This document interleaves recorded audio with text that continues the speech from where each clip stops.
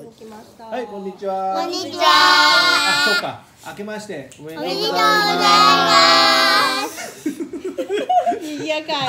えっと今日はえっと本当に明けまして1月2日ですよね。です。はい、のえっとう朝練もう宇佐の初稽古を今終わってね今からまたお出かけに行くというね。はいはい。はい。えっと朝練どうでした？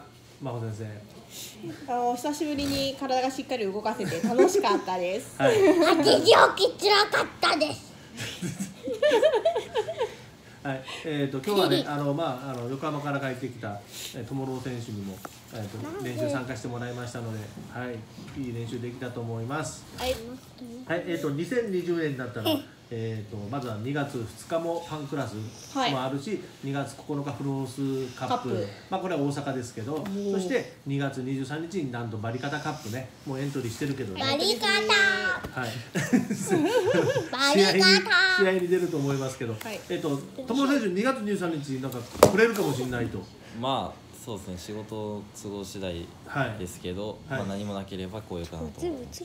はい、もしかしたらその日にまだちょっと発表できませんけどちょっとせ一人あのあの、まあ、九州の注目選手の、えー、とセミナーができできるかもしれないもうねあの決まればもうすぐ発表しますのでお楽しみにしていてくださいまあ、5月のねあのドゥマウ九州は、あのもう決まってますあの藤田充実の森戸選手が、はい、もう。はい、もうもう強い全日全日本オープンでも優勝した強い選手なんで、もうぜひはいあの今から予定を組んでおいてくださいって感じかな。はい。で今年は4月にもう全日本選手権があるというまあこれオリンピックの影響なんでしょうけどね。はい。もうであとこの前も聞いたけどまあまあなんか小室選手は全日本目指してアジアも目指して。はいもう全部大抵また今年は試合出まくるとは思うんですけどもう一回改めて、まあ、新年になってからの目標をちょっと言ってもらえればまあそうですね去年あ去年はまあ試合は結構出たけどそんなにその勝率が特別高いわけではなかったので、まあ、今年はちょっと勝率を上げていきたいなと思います。でえっ、とそうですね黒帯になって、えー勝てるように、えー頑張ります。はい。じゃあ真帆先生は、はい。もう3回ぐらい聞いてますけど。けーいっぱい書いてます。とりあえず技をちゃんと覚えたいのと。覚えないとね覚えてたくさん練習して試合で出してうんうんであんたも覚えな。ねみんなでね盛り上がっていきたいと思いますので、はい。うさに遊びに来てください。待ってるよ前戦った高野坂本さんがもう茶帯になったみたいで、あやっぱなったらなるんじゃないかなっていう話したんで、うんうんうん追いつくよ頑張って、はい、まずとりあえず九州でね紫帯の女子でトップになってくださいはい頑張りたいです、はい、じゃあ、うん時間どれぐらい？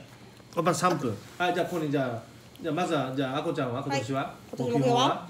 私の目標は金メダル取りたいあ、です。そうね。まず金メダルね。そうねうん。私そも。まこちゃんは？ここ？はまこちゃんは。ねあまずデビューやね。あ、デビューはしたんだ。デビューしましたデビューはしたけど、金メダルを10個もらい10個10 個でなんでいけんねんそしたらマコ10個出ようかじゃあね。まず10個。お父さんのお母ちゃんおらんけど今年は10個10大会ぐらい出るっていうね気持ちで。すごいそうね。はい、じゃあじゃあ相馬は？試合で優勝することうんおおお父ちゃん今宣宣言したけどね。頑張ってくださいね。私も優勝しますけど、はい。すごいノリノリやはい、まあ、あの、まあ、ノリがいいのが宇佐なんで。はい、あの、パラエストラ宇佐は、えっ、と、ここは。宇佐市。お菓子四日市市大分県宇佐市の四日市。はい。で、ありますので。水曜日と土曜日ね。はいはい。で今週はないけど、来週からまた普通の、はい授業クラスになりますので、もしよかったら体験。あの、来てください。見学。子供待ってます見学でも大丈夫です。待っていますくるりあのこうちは子供が多いからね、あの赤ちゃんから大人までお待ちしております。はい、じゃあそれではまだあの来週会いましょう。はい、じゃあさようなら。さよなら